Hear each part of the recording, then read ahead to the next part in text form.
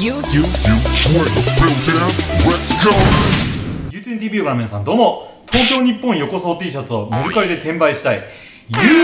でございますということでねこの T シャツを俺が着ることでプレミア感を演出したいよねっていう話なんだけどね。うん。まあ、ちなみにこの T シャツはね、前も言ったんだけど、マレーシアにあるテスコっていうね、大きいスーパーがあるんだけど、まあそこで400円弱で売ってたんだよね。うん。それでね、この東京日本よこそうっていう謎の日本語がね、もうつぼりすぎて、気づいた時にはもうレジに持って行っちゃってたよねっていう話だよね。うん、だからね、これをあわよくばテスコで大量購入して、それでね、俺が帰国した暁にはね、メルカリで1500円とか、それぐらいで売ることを考えてるよねっていう話だよね。まあ今回ね、この UTNTV を通してね、まあてめえたちにね、伝えたいのが、いよいよね、パラリラ竹花隆樹が MAP サロンのね、金をしない宣言をしちゃったよねっていう話だよね。それが発覚したきっかけとしては、その前々からね、MAP サロン側は、1ヶ月分しかね、まあそのサロン代を、まあ返金しないと、そういう風に宣言をしてたわけなんだけど、まあそれには MAP サロン側が、まあ提示した規約に同意をさせることによって、1ヶ月分だけ返金をすると。まあそういう風な取り決めを一方的にね、サロン生のやつと交わしてたんだけど、まあもちろんね、被害に遭ったサロン生の一部は、それに同意しないやつっていうのも、まあめちゃくちゃ多かったわけなんだよね。だから、まあその規約に同意せずに契約日まで遡って全額の返金をま要求してたわけなんだよね。それに対してサロン側はね、同意しないやつに関しては、ま個別に対応すると。それで1ヶ月分の返金すらも保証しないけどいいんですかと。そういうね、もう竹花ならではのメンヘラワードを書いちゃってたよねっていう話なんだけどね。うん。で、それでね、最近、その、同意しない全額返金を求めるサロン生に、相次いで返ってきた返答っていうのが、まあ、その、協議した結果、全額の返金はできませんと。うん。それで、提案した通りの1ヶ月の返金しかね、もうサロン側はするつもりがないと。いうことで、改めて今回の返金規約に同意してくださいと。うん、そういうね、ある意味、もう同意の強要と言わざるを得ないような、そういう答えが返ってきてたんだよね。それがきっかけで、また竹花周りが荒れちゃってるよねっていう話だよね。それを見て、もう本当にね、この U20 的に思ったのが、てめえマジでそのまま逃げ切れると思ってんのかっていう話だよね。うん。っていうか、こうなれば、納得しないサロン生は、例えば、青汁王子とかもね、以前の動画で、その集団訴訟になったとしたら、その額に関しては負担するっていう風に言ってくれてるわけじゃん。だから、まあ、このままいけば、今回の返金に納得しないサロン生は、まあ、集団訴訟を起こすと思うんだよね。そうなった場合、竹花サイドはもちろん弁護士も雇わなきゃいけないし、裁判の数に関してもね、まあめちゃくちゃ時間と金がかかるわけじゃん。で、さらにそこで損害賠償の支払い命令が確定してしまうとなると、本来の返金額よりも高い額を払わなきゃいけないっていう可能性もあるわけじゃん。うん、だから、そうなると、サロン側にとっては、さらに金銭的な負担を強いられることは間違いないよねっていう話だから、そうなるぐらいだったら、てめえマジ最初から全額延期で対応してたらいいんじゃねえのっていう話だよね。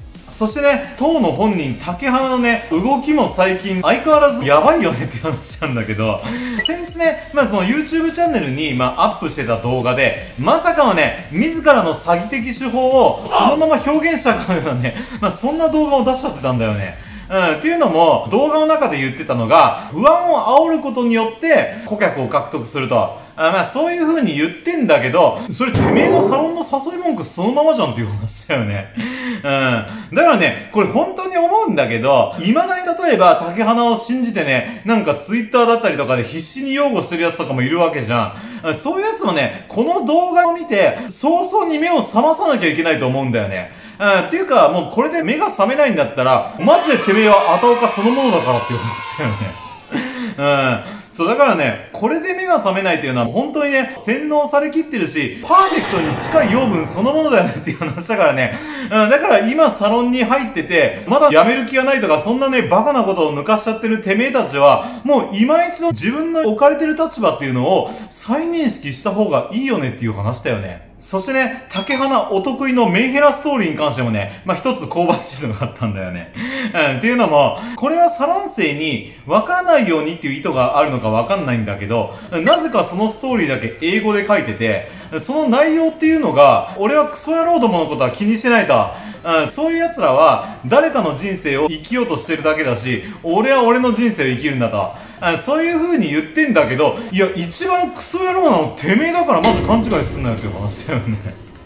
うん、この文章の中で言ってる、そのマザーファッカーって書いてるね、まあ、クソ野郎っていうのが、まあ、おそらくその返金を求めてる元サロン生だったりとか、俺みたいに竹花をね、動画で叩きまくってる奴らだったりとかすると思うんだけど、そもそも全てがてめえで巻いた種じゃんっていう話だからね、うん、何言ってんだてめえっていう話だよね。だから、そういう風に言われる前に、てめえは謝罪だったり返金だったり、叱るべき行動を取るべきだったんじゃねえのっていう話だよね。もうまさしくね、完全に積んでるとしか言いようがない竹花なんだけど、本当に思うのが、マジでてめえはテンチムを見習えよっていう話だよね。例えばね、そのテンチムは自分がやったことに関して、もうちゃんとね、モテフィットの購入者に対して謝罪をして、個別に返金してんじゃんっていう話じゃん。さらに、もう今はね、例えば銀座のクラブだったり、あとはそのバーレスク東京だったりとかで、まあ働いてね、借金の返済に当ててると。まあそういうことをやってるわけじゃん。何にもかかわらず、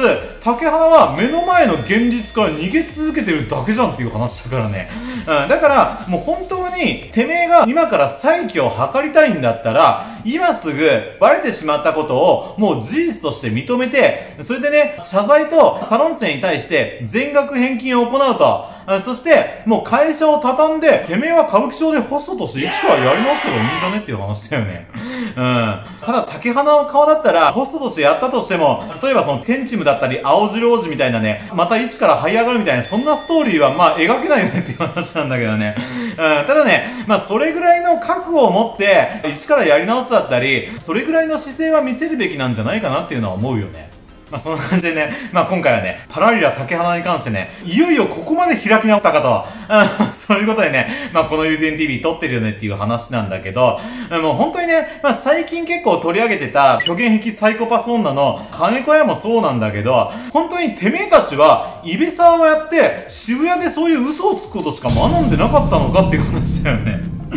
うん。イベサー出身の2人がね、まさか虚言だったりとか、そういうところでね、繋がってるっていうのもまたこれ滑稽な話だよね。まあ、ただね、個人的に思うのが、1年前まで結構コラボ動画を出してた、もともと同じサークルなのかな、そのアディオがね、例えばその暴露話だったりとか、そういうのを動画に出したら俺めちゃくちゃバズると思うんだよね。うん、あとは、まさかの金子彩がね、その竹原に関しての、なんか暴露をするだったりとか、そういうのでもめちゃくちゃ香ばしいエピソードが聞けそうだよねっていう話だから、ぜひね、俺はこのお二方に、その竹花のね、まあその暴露だったりディスっていうのをちょっとやってみてほしいなっていうのは結構個人的に思ってんだよね。まあそんな感じでね、まあまた竹花に関しては新しい動きがあれば追っていこうと思うしね、ビジネス系 YouTuber は特にそうなんだけど、こういうね、窮地に立たされた時にどういう対応をするかっていうので、まあそいつの人間性だったりとかっていうのはもう全部バレちゃうよねっていう話だから、だからね、結局、まあその竹花だったり、学ぶっていうのはね、もうその程度の人間だったんだと。